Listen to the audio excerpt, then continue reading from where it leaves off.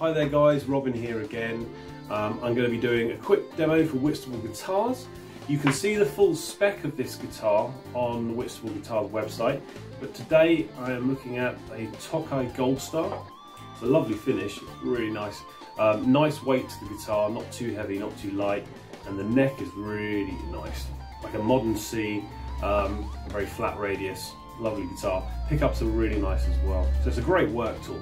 But you can see the full spec on Whitstable Guitars website and I'm going to do my usual quick demo with some cleans at the end. Cheers.